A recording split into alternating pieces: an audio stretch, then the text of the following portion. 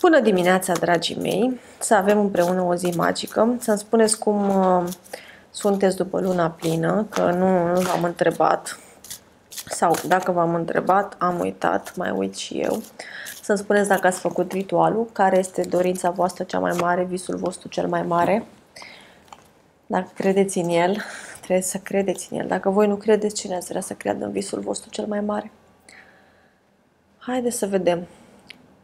Mesajul acestei zile, 3 septembrie, este acesta. Mă înalț deasupra tuturor limitărilor. De fiecare dată când întâlnesc o problemă dificilă în viața mea, îmi folosesc experiența ca să învăț și să fac progrese. Așa este.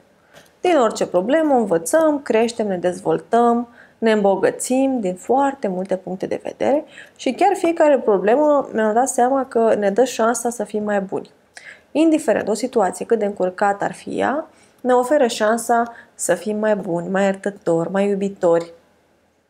Foarte important să ai șansa asta să ierți, să iubești, să te iubești și pe tine mai mult și să înveți din fiecare experiență. Mă înalți deasupra tuturor limitărilor foarte frumos și este un, o fetiță, un băiat care înalță un smeu. Așa să vă înălțați și voi. Asta e urarea mea pentru astăzi visurile voastre să zboare așa frumos, să se înalțe și să prindă conturi, să devină realitate și să avem cu toții o zi magică, desigur. Berbec. Astăzi berbecii sunt influențați un pic, sunt sensibili și se gândesc foarte mult la ceilalți, ce o să creadă ceilalți, ce fac ceilalți, cum să-i ajut pe ceilalți mai mult ca niciodată sunteți un, uh, sau jucați, doriți să jucați rolul salvatorilor. Dacă nu vi se cere, stați cu minței, dacă vi se cere, mai ales că sunteți voi așa super mărinimoși astăzi, puteți să ajutați și să faceți bine. Aveți așa o doză de generozitate mult mai mare, mult mai puternică decât de obicei. Foarte generoși berbeci astăzi. Taur. Taurul se trezește cu gândul la prieteni. Deci astăzi este despre prieteni, să faceți o masă, să oferiți niște lucruri prietenilor voștri. Um, da, treceți tot, totul prin uh, familia asta extinsă și anume prin prietenii voștri sau vă, vă gândiți cum să um, îmi ajut mai mult prietenii, cum să fac lucruri pentru ei. Sentimental, ceva surprize pentru nativitaur, Uh, veți fi luați prin surprindere de partenerii voștri, așteptați-vă la răsturnări de situație frumoase, favorabile. Gemeni. Gemenii vor cheltui mai mult decât este cazul și vor plânge apoi, în sensul că ok, de ce am făcut așa, oleo, stai că am comandat prea mult, am intrat pe cardul de credit sau diverse astfel de situații. Dragi gemeni, faceți-vă un calcul astăzi și nu cheltuiți mai mult decât e cazul, e și început de lună, luna e lungă, uh, distribuiți-vă bugetul în așa fel încât să vă ajungă până primiți următorii bani sau până se întâmplă o minune. Atenție cu cheltuielile, uh, vă veți arunca așa în tot felul de situații prin care vă depășiți bugetul. Rac. Racii plănuiesc astăzi să-și um, aducă în față anumite prezentări sau, mă rog, să-și, să-și expună anumite idei în fața șefilor. Sunteți foarte concentrați, gata, mă duc la muncă, îi spun șefului aia, aia, așa, aia, vreau așa. Cumva vă doriți o schimbare, poate chiar să cereți o mărire a salariului sau ceva de genul ăsta și desigur vă duceți la șeful, managerul sau ce aveți voi acolo, director, etc să discutați despre anumite aspecte legate de job, de responsabilități sau de partea asta financiară. Leu. Leul uh, va avea frământări, frământări din multe puncte de vedere, și legate de copii, și legate de situația amoroasă, și legate de familie. Încercați să vă împărțiți în mai multe locuri, dar uitați de voi. De ce vă doriți voi cu adevărat? Astăzi poate e momentul să vă întrebați, ok, ce-mi doresc eu cu adevărat? De ce mă frământ atât, ce se întâmplă de fapt, care este scopul meu, um, ce am de făcut, ce mi-aduce bucurie. Încercați să vă puneți mai multe întrebări și vor veni răspunsurile. Nu vă forțați um, în niciun fel, lăsați-le să curgă de la sine.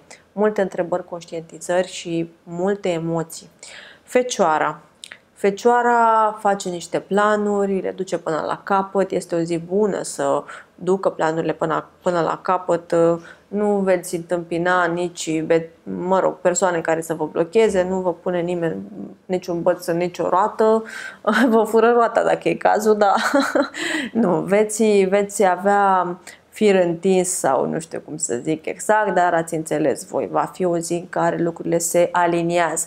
Planetele se aliniază, stelele se aliniază pentru fecioare. Așa că tot ce v-a spus în cap încă din prima, primul moment când v-ați trezit, o să puteți să realizați astăzi fără probleme. Balanța. Balanța are nevoie să se um, sfătuiască, să discute cu partenerul, cu partenera, vă sfătuiți și da, aveți nevoie de sugestii, aveți nevoie să primiți o confirmare, o validare. Ok, e bine să faceți lucrul ăsta, dar atenție și cu validarea asta că o cereți cum o cereți. Uneori trebuie să faceți și ce simțiți voi. Partenerul, ok, e cel mai bun sfătuitor în cele mai multe cazuri. Dar poate tu ai o lecție de învățat, poate trebuie să înveți să-ți asumi niște responsabilități sau să-ți asumi uh, intuiția pe care o ai. Dacă intuiția îți spune un lucru, bă, hai mă să facem așa o dată să vedem ce o, ce o să întâmpla, ce o ieși de aici într-un fel sau altul. Vă sfătuiți, dar mai sfătuiți-vă și cu intuiția voastră că ea știe cel mai bine. Scorpion. Pentru scorpioni, decizii importante legate de iubire, decizii importante legate de sfera asta um, înaintării într-un cuplu, poate te decizi să te muți cu partenerul sau zici ok, poate în momentul, hai să o luăm cu pași mai mici, Poate el sau ea vrea copil, vrea să vă mutați, vrea să faceți niște schimbări în cuplu, voi aoleu, stai că nu știu dacă sunt pregătit, nu știu cum să-i spun, dacă se supără, dacă înțelege greșit, dacă nu înțelege rănile mele. Păi dacă ați fi deschiși cu partenerii voștri, va înțelege de ce vreți să faceți niște pași în direcția familiei sau nu, sau ce vă doriți. Comunicare și atunci nu mai facem presupuneri, pentru că presupunerile îngroapă toată orice fără presupuneri. Îngroapă tot entuziasm. Săgetător. Pentru săgetători avem uh, o zi magică, da, cum e fiecare zi pentru săgetător, că el este super optimist, cel mai optimist semn, guvernat de uh, marele benefic Jupiter și astăzi, da, este o zi optimistă, mai ales pe sfera carierei. O întâlnire extraordinară care poate să vă schimbe viitorul financiar, profesional și așa mai departe, dar acum trebuie să faci și voi ceva.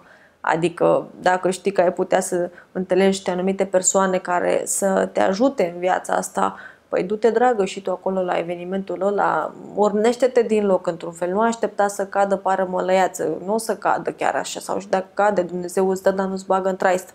Aveți niște oportunități, folosiți-le, folosiți-vă de ele și nu uitați că sunteți foarte norocoși și profesional poate să fie o zi magică. Capricorn. Și Capricornul are o zi magică astăzi, pentru că Soarele și Mercur în Fecioară vă avantajează foarte tare pe semn de pământ. Mm, foarte curând mm, vom avea și Jupiter care este din retrograd, care este în semnul vostru. Mă rog, hai să vorbim pe tu astăzi, dar chiar și așa, veți avea posibilitatea să creați niște oportunități și voi.